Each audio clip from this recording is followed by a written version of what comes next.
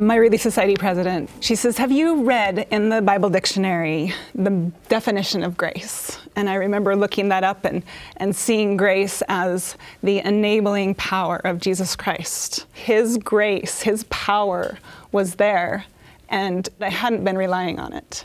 It was just a gentle, loving reminder that I needed to rely on the Savior. It was through His grace that I was going to be able to do that, and it's only through his enabling power that I was able to continue and move forward through that experience. Oh, and for me, I, uh, I loved to mountain bike. I had an experience where I was biking up a trail and there was this uh, very fine kind of dust that was floating in front of my front tire as I'm climbing up. And I thought it was kind of fascinating the way it was billowing out there.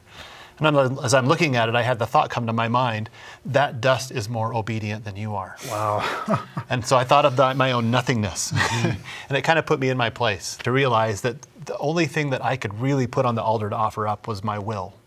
And that once I had done that, there really wasn't much more that I could say, hey, look at me, what a, you know, what a wonderful thing I did. You know, it wasn't about anything I did. It was really, all I could do was just offer up my will. And then Jesus Christ did the rest.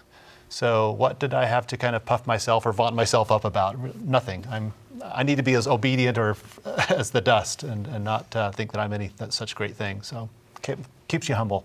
Yeah, it sure does. The story of Israel that Isaiah tells is that very same story, right?